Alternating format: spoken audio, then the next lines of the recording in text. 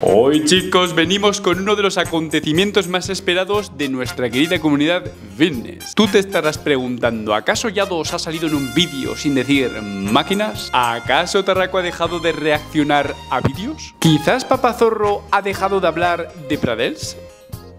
¿O a lo mejor Pradels ha dejado de quejarse? Pues no señores, el acontecimiento más esperado es la respuesta a una pregunta que dice así. ¿Qué pasó entre Joan y Pradels.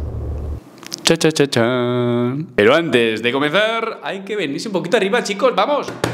¡Actívense!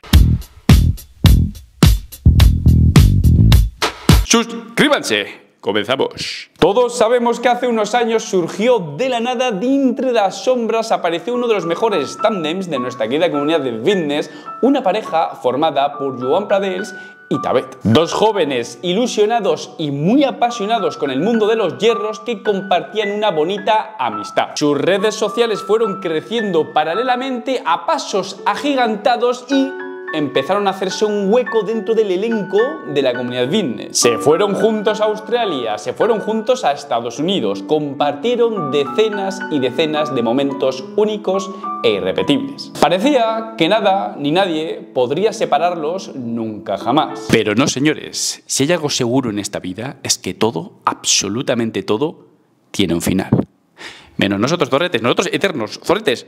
Aquí estaremos cuando todo sea campo, de nuevo. ¡Hijos de puta! Solo hay una cosa segura en esta vida, es que todos vamos a morir y que todo tiene un final. Lo que pasa que fue un final anticipado, fue un final prematuro, fue demasiado pronto, fue una amistad muy bonita, muy intensa, y muy corta. Ya estáis acostumbrados a vernos juntos. A raíz de esta ruptura, las conjeturas y confabulaciones pues volaban por nuestra querida comunidad fitness y cada uno de nosotros tenía su propia teoría pues de lo ocurrido. Pero la verdad, la verdad, solo lo saben ellos. Pero esta batalla la hemos perdido. La ha ganado este señor de aquí, mi archienemigo. Y ahora nosotros. Pero va a ser la verdad. La versión oficial no se sostiene por ningún lado. Jorge, así te digo. La cosa es que, damas y caballeros, vamos a reaccionar a esta versión oficial que no se sostiene en un vídeo titulado... George Tabet habla de su relación con Joan Bradels. Hola chicos, ¿qué tal? ¿Cómo estamos? Bienvenidos a la parroquia del váter. Vamos a trocear este... ¿Os ha gustado mi locución? ¿Os ha gustado la pequeña película? Yo soy el cuentacuentos, así te digo, ¿eh? Yo, si me retiro de YouTube, me voy a contar cuentos a los chavales, ¿eh? Me cago en la puta. Chicos, os voy a trocear este vídeo, las partes más importantes, prácticamente todo, porque es un vídeo cortito y nos lo vamos a comer porque es bastante bastante sabroso, ¿eh? Tiene, tiene su, miga. Os lo troceo, lo masticamos un poquito y palbuche. Voy a reaccionar, pues, a dicha versión oficial que, repito, no se sostiene por ningún lado. A mí me recuerda a las típicas versiones oficiales de los ejércitos, ¿no? Que dice, siempre fue un accidente en un ejercicio rutinario, en unas prácticas o en unas maniobras, un accidente. Guiño, guiño. Yo cuando te empecé a conocer hace ya mucho tiempo, vi unos, unos bueno, vídeos de, de cuando eh, con Joan, Joan Pradels, y tú que tenías esa amistad, fuiste juntos a ver un Mister Olimpia, ¿vale? Tú en este caso, en aquel momento, ¿te pensaba que, que, ibais a llegar donde, donde habéis llegado? ¿Sabes qué es lo mejor? Que creo que los dos nos ha ido tan bien, bueno, también, joder, creo que estamos bastante... Sí, sí, sí, escúchame, ya, ya lo puedes decir, Jorge, ya. Creo también, ya sea en temas redes sociales como en lo deportivo, porque ninguno de los dos, nuestro objetivo era, era competir o, o ser el mejor. Éramos dos chavales realmente fatal de la cabeza, o sea, estábamos, eh, estábamos fatal, o sea, la gente nos veía en el gimnasio y decía, pero a estos chiquillos, ¿qué les pasa? Comienza diciendo que les unió prácticamente una locura desorbitada en torno a, los hierros, que les encantaba el gimnasio, que estaban más tiempo en el gimnasio que en casa y que en la escuela y que digamos que tenían un amigo en común que dijo, estos dos están bastante averiados y comparten la misma avería. Y les voy a presentar. Y esa, esa locura que teníamos los dos se contagió porque Joan y yo no nos conocíamos, nos presentaron juntos porque, claro, éramos de Valencia los dos y estábamos fatal los dos de la cabeza, pero no entrenábamos juntos. Y pues entre amigos en común, pues nos decían, tío, yo conozco a uno que es eres tú en rubio, o sea, o yo en, o, él en moreno. El amigo vio que compartían una locura llamada la pasión por los hierros, como dice Hugo Van Damme, la pasión por los hierros, algo así, con esa voz que tiene él característica, y dijo, de aquí solo va a salir algo bueno yo es que aún me acuerdo y se me pone la piel de gallina. Eh, por desgracia, como con Joan ya nos hemos distanciado un poco. Yo me fui a Andorra, él se quedó en Valencia y cada uno ha hecho su carrera por separado. Al final, pues el no verse, el no hablar, pues sí que nos ha alejado un poco en tema amistad como tal. Pero yo le tengo un cariño tremendo por por lo que empezamos. La versión oficial según Dom Tabet, que es un auténtico señor, es un señor caballero, es un tío como la copa de un pino desde el pie hasta la cabeza, es todo eso honor. Es un tío con una presencia espectacular. Al patrón, a mi amigo Duffy, le encanta. Mi amigo Duffy se le hace la boca Coca-Cola cada vez que habla de él. Es que le encanta. ¿Es todo un señor? ¿Es un caballero? ¿Es el típico nuero que quieres para tu hija? Sí. También te digo, yo no me callo. ¡Hijos de puta! Es un señor, porque siempre es un señor, pero en este vídeo es un político. Yo no me callo, ¿eh? Lo siento. Yo he venido a Madrid a pasarme el juego subimos revoluciones. Yo no me callo ya. Venir a por mí. Señores, si tienes cuatro pelos en los huevos, te das cuenta de que esto, esto, esto, esto que no, ¿eh? Que no. Ya nos hemos distanciado un poco. Yo me fui a Andorra, él se quedó en Valencia. Si tú te lo quieres creer, Zorrete, créetelo. Como te creíste las mentiras de ella, ¿eh? Que era una amiga, la amiga, ¿eh? La amiga. Sí, sí, yo no me lo creo. Yo esto no me lo trago. ¿Te puedes distanciar con un buen amigo? Sí. ¿Puede que no haya pasado nada grave, te distancies? Sí, pero claro, si pasas de prácticamente tener todo el contenido compartido con esa persona, te distancias, no ha ocurrido nada grave y no vuelves a grabar nunca jamás. Nunca jamás. No, no me jodas. Pasas de tener un montón de contenido compartido con esa persona a no grabar nunca jamás sin que haya ocurrido nada grave, solo un enfriamiento. ¿Te lo quieres creer tú?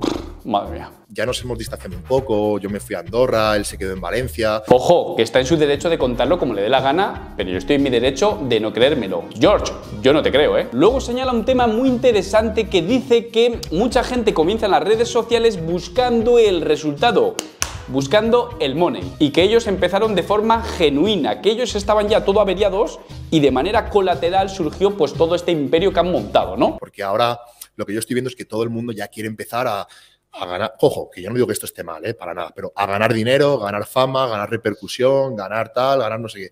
Nosotros, tío, éramos dos chavales que no teníamos ni redes sociales y estábamos fatal de la cabeza. Que no era algo buscado, premeditado como tal, sino que ya venían rotos de fábrica y dijeron, bueno, ya fueron metiendo el hocico y digamos que fue quizás algo orgánico. ¿Esto es cierto? Pues será cierto, claro que sí, porque no, no va a mentir tampoco en todo. Yo me acuerdo de entrenar 6, 7 horas, tío, en el Dream Fit. Le echaron del Dream Fit por loco. Digamos que él iba sesión número 1, tupper sesión número 2 y dijeron, chaval, te vas a comer a tu puta casa. Yo me acuerdo que a mí me echaron del Dream Fit por comer tupper, porque yo entrenaba, comía tupper y, me, y volvía a entrenar. Era como, tío, vete a tu casa a comerte el tupper y yo qué sé, habla con tu madre, que tengas una relación con tus padres o algo, estudia, haz algo, ¿sabes? A comer a tu puta casa. ¿Qué me parece? Me parece bastante correcto. ¿Por qué? Porque tú dirás, no, pero no pasa nada, claro, pero si todo el mundo hace eso, nos montamos ahí un camping gas. Yo dejé la carrera y me fui a Australia a vivir para, para poder entrenar, comer dormir y grabar vídeos. Joan lo mismo. Entonces, es ese paso que, bueno, no sé si será un buen o mal ejemplo. Yo, por ejemplo, siempre que me preguntan, me parece que yo siempre digo que estudiar jamás es, está mal. O sea, cuanto más estudies mejor y si puedes estudiar cuanto más mejor. Pero es cierto que nosotros apostamos todos por, por, lo que tú dices, por nuestra pasión. Señala con cierta nostalgia que aquella etapa en Australia fue un poco irse con una mano delante y otra detrás que básicamente se fueron a vivir el sueño americano en Australia, tiraron de ahorros y básicamente pues fueron un poco pues sin hoja de ruta, ¿no? En plan, a ver qué pasa. Ellos querían entrenar, comer y grabar y depositaron pues sus ahorros. Y que ahí de manera genuina en Australia pues comenzó un poco esta historia tan bonita que a su vez terminó muy pronto. También te digo, las historias más bonitas terminan con un final trágico, porque si no hay final trágico no es tan bonita la historia.